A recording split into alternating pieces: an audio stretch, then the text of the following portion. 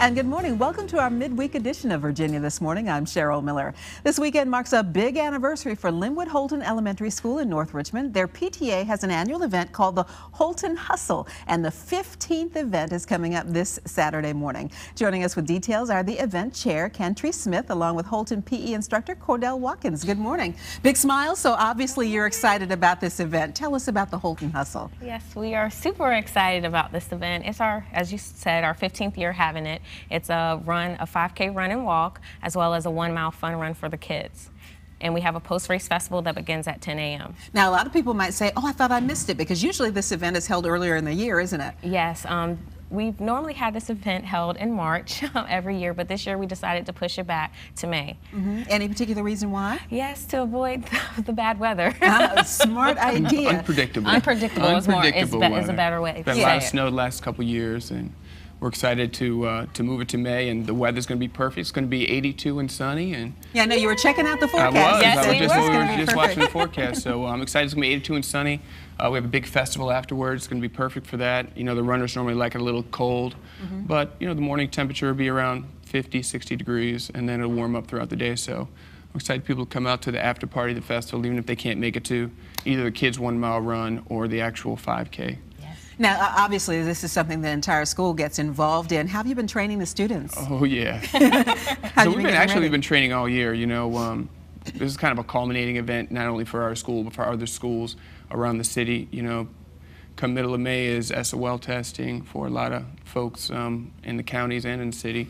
And um, it's kind of a culminating event, and, you know, we're excited to be able to have people come to school and enjoy a healthy, um, habit and uh, enjoy the north side. It's a beautiful, picturesque part of the city. Mm-hmm. I'd love to see people come walk or run and walk and run mm-hmm. um, around Bellevue and Ginter Park. I mean, it's an extraordinary part of the city. I'm glad to share it with mm-hmm. um, other other folks. And you were talking about the kids taking a lot of tests. This is kind of like a benchmark for them too, because to be able to complete something like this is is, is kind of important for them. It is. It is the one mile um, run portion. You know, something we all kind of grew up doing.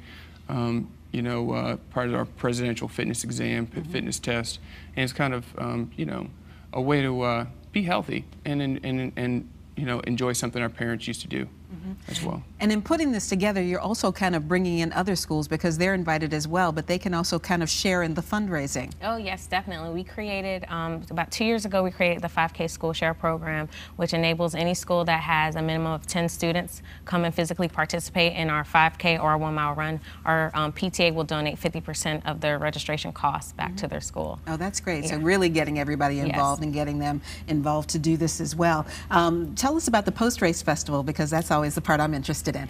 yes. Do you want to? I'd love to. Um, so the post-race festival is just going to be um, a lot of fun.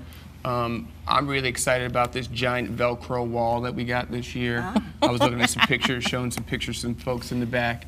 Apparently, it's like a trampoline and a Velcro wall. We put kids and adults, if you want, uh, in a Velcro say, suit. first one up. I, I, I probably going to test it because I'm yeah. not sure. I haven't yeah. tried it before or seen it before, so I'm excited. But we actually we put you in a Velcro suit. There's a trampoline and splat right against the Velcro wall. So I'm excited to see how that kind of turns out. It's going to be a lot of fun. Yes, the kids always peeling the people off That's the correct. Velcro the kids wall. have been asking me how we're going to get down. I said, well, yeah. we'll figure that out when we when we get to that now.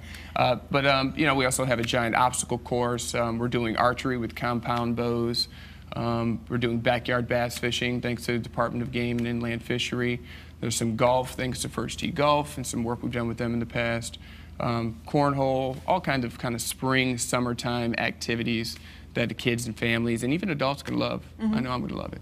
And hopefully it's an opportunity too because the weather's going to be great and there's going to be a lot of people there and a lot of excitement to get children involved and interested again in playing outside and being outside. Yeah, yeah. I think that we're, you know, some of those activities I talked about are kind of alternative activities to basketball and soccer, which are two activities we'll have there as well. Right. But, you know, some of these alternative activities, see what other things the kids might like to do, even the run itself. Mm -hmm. You know, mm -hmm. there's lots of great runs around um, the city, great ways to be active around the city, and I'm excited to see uh, people come out to the race and enjoy it, even if they've never done a race before or they just want to come walk, like I said, around the north side um, you know, it's going to be a great event. Mm -hmm. And the Holton PTA has been very active in, in making the school important for the students and teachers, but also important to the neighborhood, hasn't it? Yes, it definitely has. And that's what I think um, we are truly able to do with this event because it's not just for the Holton students um, where many people think. It's definitely for the community. That's why we wanted to invite the other schools out through our 5K school share program, and you know, talking, to, uh, being able to provide our information in different local businesses on MacArthur and different surrounding areas, and enables us to spread the word about our. Yeah, it's, school. and, and the school is really centrally located. It's easy Mm-hmm. to get to. It's right on the corner of Laburnum and Hermitage, which is actually Boulevard. There's two 64 exits that get off right there, Boulevard Exactly. or um, Laburnum Avenue. So, you know, it's pretty centrally located, easy to get to. You can't miss it. neighborhood. You can't. No, you can't. It's a beautiful can't. school too. And for people who are, are more serious runners and walkers, you're doing chip timing this year. Oh, yes, definitely. That was a big um, change for us. We actually started chip timing last year, but Mm-hmm. this year we're chip timing both events. And with with the combination of the chip timing and the cash prizes and the gift cards from one of our sponsors, Lucky Foot, we're definitely, you know, turning up the game this year with, with that. Well, everybody should check their calendars and Yes. make sure that they block off a couple of hours to come and, and join you. Cantrice and Cordell, thank you so much for joining us today. Thank you so much for having us. You're very welcome. The 15th annual Holton Hustle 5K is this Saturday, May 16th, starting at 9 a.m. at Linwood Holton Elementary School. Again, that's at 1600 Laburnum Avenue. Just go to our website online at wtvr.com/vtm. We'll link you to all the details.